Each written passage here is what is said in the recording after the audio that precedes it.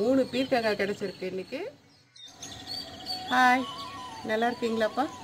இன்னைக்கு நம்முடைய மாடி தோட்டத்தில் ஒரு சிறப்பான அறுவடை தான் பார்க்க போகிறோம் வாங்க என்னென்ன காய் இன்றைக்கி எடுக்கலாம் அப்படின்னு பார்க்கலாம் வாங்க. முதல்ல அவரைக்காய் கொஞ்சம் இருக்குது அதை எடுக்கலாம் வாங்க. இன்றைக்கி நாம் எடுக்க போகிற அவரைக்காய் பார்த்திங்கன்னா கோழி அவரைக்காய் அப்படின்னு சொல்கிற வகையை சேர்ந்தது. இந்த வகை செடிகள் பார்த்திங்கன்னா நல்லா கொத்து கொத்தாக காய் வருதுங்க. ஒரு மூணு செடி இல்லை நாலு செடி வச்சுக்கிட்டோம்னா நல்லா ஒரு கிலோ காய் கிடைக்கும் போல் இருக்குது அந்த அளவுக்கு கொத்து கொத்தாக இருக்குது காய்கள். இந்த மாதிரி எலசாக இருக்கும் போதே எடுத்துகிட்டு போய் சமையல் பண்ணால் ரொம்ப சுவையாகவும் இருக்குங்க. இந்த காய் வந்து நல்லா காய்க்கிறதும் அதிகமாக இருக்குது டேஸ்ட்டும் நல்லா இருக்குது நாம் வந்து எந்த ஒரு செயற்கை உரமும் போடாமல் இயற்கையான முறையில் விளைய வைக்கிறதுனால சுவையும் நல்லா இருக்குது நமக்கு மனசுக்கும் ரொம்ப ரொம்ப சந்தோஷமாக இருக்குது இதை வந்து நீங்களும் செய்து பாருங்கள் மாடியில் ஒரு குட்டி இடம் இருந்தால் கூட போதும். அவரைக்காய் இவ்வளோ கிடச்சிருக்கு. அதுக்கப்புறம் இப்போ பீர்க்கங்காய் எடுத்துடலாம். வெயில் மழை படுற மாதிரி மாடியில் ஒரு சின்ன இடம் இருந்தால் போதுங்க. நமக்கு தேவையான ஒரு சில வகை காய்களை நாமளே விளைவிச்சுக்க முடியும். அதுக்காக மொத்த காயும் நான் வந்து மாடியில் தான் விளைவிச்சு சாப்பிட்றேன் அப்படிங்கிறதெல்லாம் கிடையாது. நாங்களும் வந்து வெங்காயம் பூண்டு இது மாதிரியான விஷயங்கள் வெளியே தான் வாங்குகிறோம் உருளைக்கிழங்கு இதெல்லாம் வந்து வெளியில் தான் வாங்குகிறோம் ஆனால் ஒரு சில காய்கள் நாமளே விளைய வச்சு சாப்பிடும்போது நமக்கு வந்து ஆரோக்கியமும் நல்லா இருக்கும். இது வந்து பாருங்கள் எவ்வளோ சந்தோஷமாக இருக்குது இப்படி பார்க்கும்போது. மூணு பீர்க்கங்காய் கிடச்சிருக்கு இன்னைக்கு. வாங்க அடுத்தது தக்காளி கொஞ்சம் எடுத்துக்கலாம். வாங்க.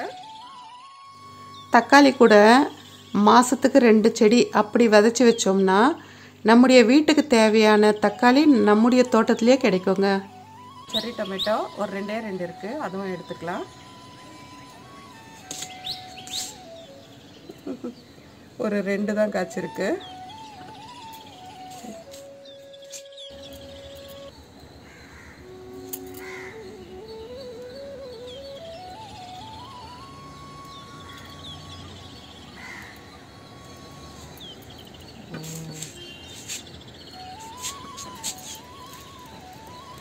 தக்காளி காய்ச்சிருக்கு அடுத்தது இங்கே இப்படியே பாருங்க செண்பகப்பூ மரம் இருக்கு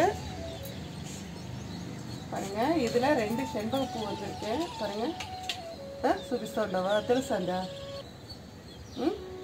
దగ్గరలో రా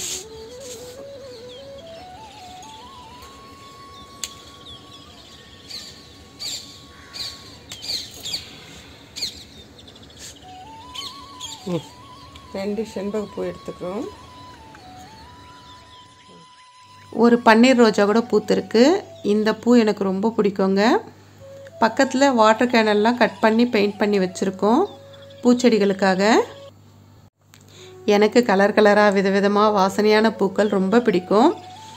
இந்த வாட்டர் கேன் ஃபுல்லாக பூச்செடிகளும் சின்ன சின்ன செடிகளும் வைக்க போகிறோம் அதெல்லாம் நான் இன்னொரு வீடியோவாக போடுறேன்.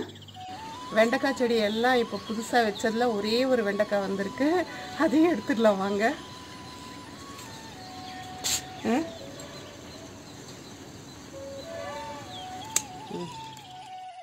க்ரோ பேக் ரேட் அதிகமாக இருக்கிறதுனால பெரிய சைஸ் கோணிப்பை வாங்கி நல்ல டபுளாக போட்டு ரொம்ப ஸ்ட்ராங்காக நானே க்ரோ பேக் தைச்சேன். ஆனால் வெயில் மழைக்கு தாங்கலை. அதனால் பிளாஸ்டிக் வாட்டர் கேனு ட்ரம்மு அப்புறம் ஃப்ரிட்ஜ் பாக்ஸு இதிலெல்லாம் செடிகளை மாற்றி வைக்க போகிறேன் நாலு வெண்டைக்காய் கிடச்சிருக்கு. இந்த கொத்தமல்லி செடி பாருங்கள் எவ்வளோ செழிப்பாக இருக்குன்னு. இது வந்து நான் ஒரு பெரிய சைஸ் டப்பில் வச்சுருக்கேன். ஓரங்களில் கொத்தமல்லி விதைச்சிட்டு நடுவில் இந்த வெள்ளை நிற செண்பக பூச்செடி வச்சுருக்கேன். இதுலேயும் மொட்டுகள் வந்திருக்கு பாருங்கள் செடி எவ்வளோ செழிப்பாக இருக்குன்னு. இது ஆல் டைம் மேங்கோ இப்போ தான் வளர ஆரம்பிச்சிருக்கு. இதுலேயும் ஓரங்களில் நான் கொத்தமல்லி முடக்கத்தான் கீரை விதைச்சிருக்கேன். எதனாலன்னா இதுக்கெல்லாம் வேர்கள் வந்து ரொம்ப கம்மிங்க. வேர்கள் மேலோட்டமாக இருக்கும். பெரிய சைஸ் செடிகள் வேர்கள் வந்து ட்ரம்மோட அடிப்பகுதி வரைக்கும் போகும். அதனால் அந்தந்த செடிகளுக்கு தேவையான சத்துக்கள் அந்தந்த செடிகளுக்கு கட்டாயம் கிடைக்கும். பயப்படாமல் இது மாதிரி செய்யலாம். ஓகேப்பா.